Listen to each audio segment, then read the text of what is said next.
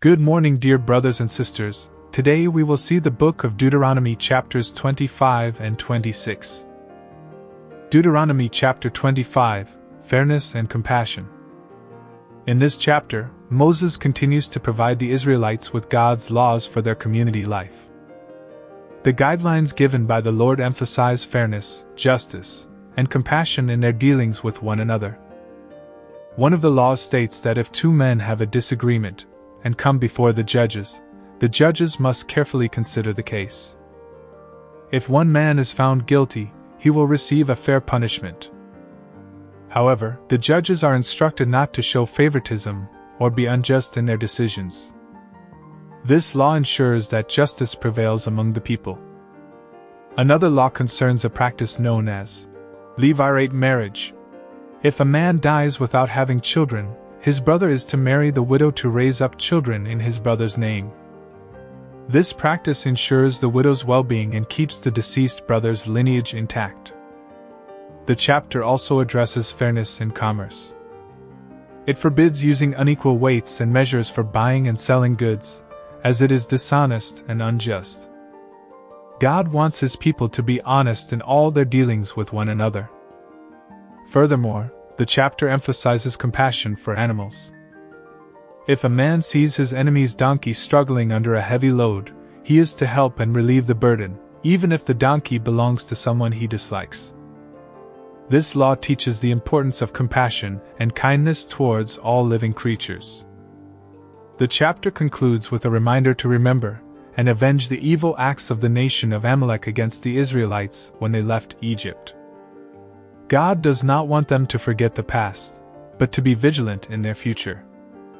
As we read Deuteronomy chapter 25, we learn that God values fairness, compassion, and justice in all aspects of life. He wants His people to treat one another with love and respect, showing kindness even to those they may consider their enemies. These laws serve as a reminder to live in harmony and righteousness, following the principles set by God for their well being and prosperity. Deuteronomy chapter 26 Giving Thanks and Remembering. In this chapter, Moses shares with the Israelites God's instructions on how they should express gratitude and remember his faithfulness. It teaches them the importance of acknowledging God's blessings and remembering their history as chosen people. God instructs the Israelites that when they enter the land He has promised them, they are to take some of the first fruits of their harvest and present them as an offering to the Lord. They are to bring the offering before the priest and declare their gratitude, acknowledging that God brought them out of Egypt and into the Promised Land. This act of giving the first fruits is a way of recognizing that all they have comes from God, and it fosters a spirit of thankfulness. The chapter also instructs the people to bring a tithe, a portion of their produce and herds, to the place of worship. This tithe is to be shared with the Levites, the priests, and the needy, ensuring that everyone in the community is cared for and provided for. Moreover, the Israelites are to recount their history from the time their ancestors were oppressed in Egypt to their deliverance by God's mighty hand. This serves as a reminder of God's faithfulness and how He fulfilled His promises to them. God commands the people to commit themselves to obeying His commandments and walking in His ways. By doing so, they will become His treasured possession, a holy people set apart for him.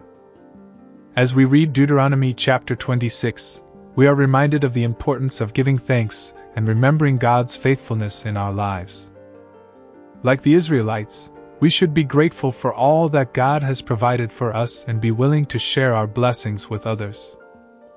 By acknowledging God's goodness and following His ways, we can experience His continued guidance and blessings in our journey of faith.